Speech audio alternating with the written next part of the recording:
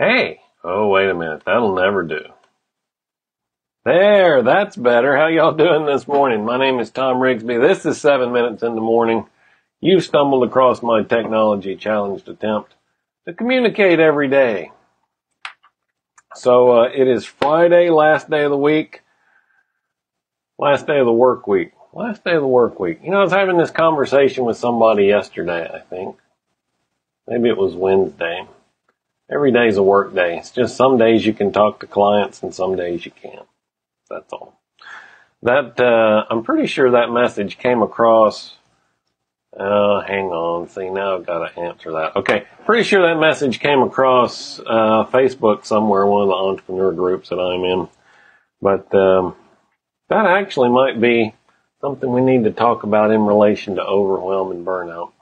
Actually taking a day off. Actually, we did talk about that, didn't we? So, on Monday, all week this week, we've been talking about burnout and overwhelm. On Monday, we talked about uh, what if you, uh, one of the signs or symptoms is that you can't relax, you can't recharge, and then Tuesday, just being sick and tired, sick all the time, can't, all those are signs, symptoms, uh, that you're headed into burnout. All week I've been promising I'm going to give you some tips and tactics and tricks to get past that. Today's the day on Free Coaching Friday that we're going to talk about that. So, if you know somebody who has had who is or is subject to or might be um,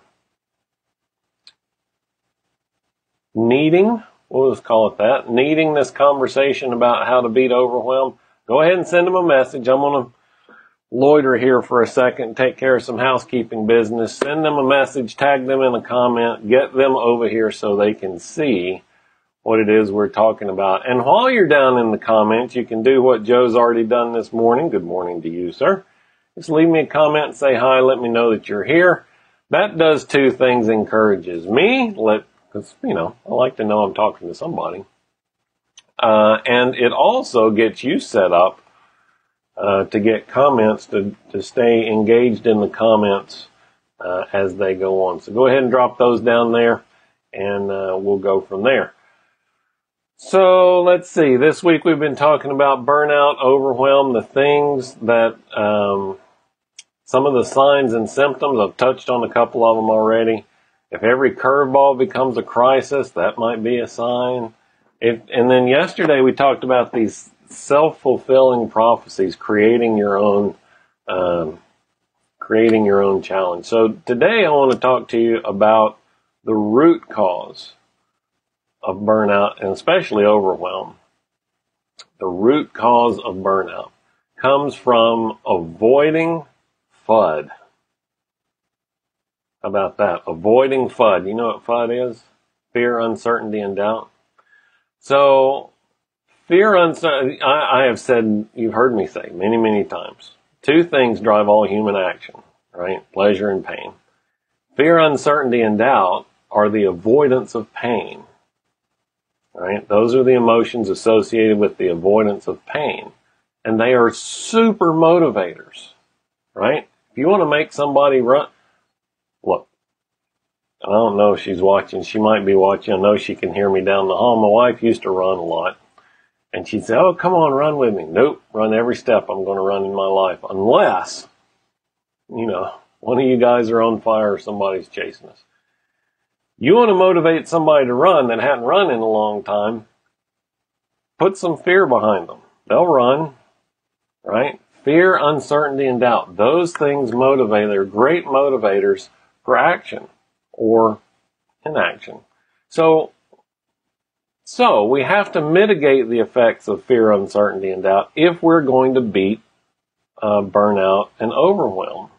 I mean, otherwise we, we can't, it's just like light and dark right? Either the light's on or the light's off. It's not kind of on, right? It's not kind of off, right? There's um, all kinds of examples that go along with that. Either you, well, started to say either you win or lose, but that's up for debate now, apparently. So, so here's what I want to talk about. Tell you how to beat fear, uncertainty, and doubt. Number one, you're not going to be surprised by this one.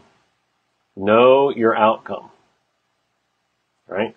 Think about it this way. If you go into the office every day with no particular outcome in mind, you're just going into work, how will you know if you've been successful or not? And this is one of the first questions that I ask people when they say they're overwhelmed. I'm like, okay, what are you trying to do?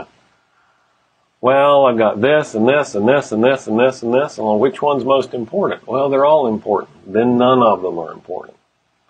Right? You have to know the outcome that you are trying to create. If you don't know the outcome you're trying to create, it's kind of like uh, Alice in Wonderland. You don't know where you're going, any road is fine. Know the outcome you're trying to create. That gets us to number two, choosing milestones. It's fine to say, I want to build a scale model of the Taj Mahal. Okay, great. But there are steps associated with that, and you need those milestones, and here's why. This is a brain science, hacking your brain kind of thing, alright? So, we need those milestones because they work like finish lines. So I, I told you, uh, was it last week? Yeah, last week, two weeks ago, around Thanksgiving, we went out to Houston to visit the daughter. 13 hours out there, 13 hours back, 26 hours worth of windshield time. And even though the goal was to get to Houston or to get to Huntsville, right? You, you mentally break the trip up if you've ever driven anywhere, right? It's like, where's the next exit? Where's the state line? Where's halfway? Right? We have all of these, we, we create all of these imaginary milestones along the way so that we can measure progress. Yet when we are working on a big project, we think we don't have to do that. Well, I can't celebrate success. I'm not finished yet. Of course you can. If you set the milestones and then, and this is key, align those milestones toward the outcome. You can't have one over here and one over here and one up here and one down there, right? You gotta keep them all in line, going in the same direction, right? So know the outcome.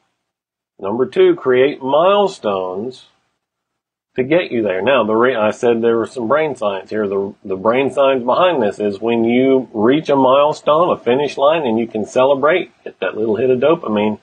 That gives you a little juice to keep going and the desire to do it again.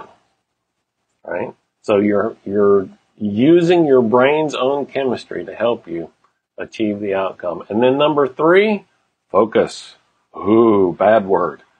Right? But you have to focus on the outcome that uh, the the next most immediate outcome.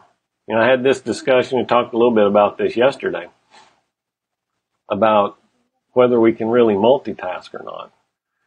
And and maybe I I have thought about this a little bit more. I don't believe we can multitask. I, uh, I just don't believe our brains are wired that way in the general sense. But maybe the argument should be not that we can't, but that we shouldn't. Because when we're able to focus on that one thing, just like we said yesterday, where focus goes, energy flows, right? When I'm able to focus on that one milestone, that one step that's getting me toward the outcome that I'm trying to create, man, then great things can happen, right? Right? Because I can put all of my time, energy, and attention onto this one thing and get it done. And then when I get that done, it keeps me moving forward. Now, so those are the three things. Know the outcome, set milestones, focus on the next milestone. What does that have to do with fear, uncertainty, and doubt? One, fear is a result of uncertainty. I don't know what's going to happen, so I'm afraid. So let's create, let's get rid of uncertainty. We do that by creating our own outcome. Right? We've created the path. The uncertainty is removed. I know that this is where we're going to go.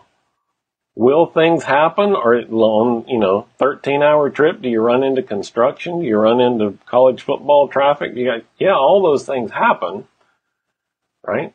But you've got a plan and you can now use that plan to help you get around that. And the doubt, doubting whether it's going to happen or not, again, comes from uncertainty, is rooted in uncertainty, right? Uh, I don't know what today holds. That's because you didn't plan the day plan your day.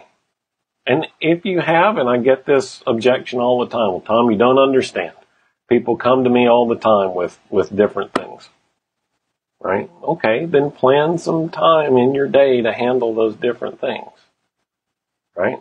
Do, 30 minutes first thing in the morning, an hour before lunch, an hour after lunch, 30 minutes at the end of the day. Two hours a day to handle everybody else's problems. You have to make it work for you. But if you fail to plan, you're planning to fail. All right. All week we've been talking about burnout and overwhelm, talked about some of the signs and symptoms. If you missed any of those, go back and watch those. They're all on the page at Thom Riggs, let's see, yeah, thomrigsby.com slash Facebook. And then today we talked about the three tips to avoid or to, to, uh, to permanent, what do I call it? To overcome burnout, overcome, no. Yeah. Oh, beat overwhelm. I had to look over here in my note. How to beat overwhelm, right? Know the outcome, create milestones, and then focus on the next milestone. I hope that's been helpful. If it has, share this with your network and leave me a note down there. Let me know that you've benefited from this, that you want me to keep doing this kind of stuff. That would be helpful for me. All right, that's it for this week. Have a fantastic weekend. I'll be back here Monday morning with another brand new installment. Seven minutes in the morning. You guys have a great weekend. I'll talk to you then.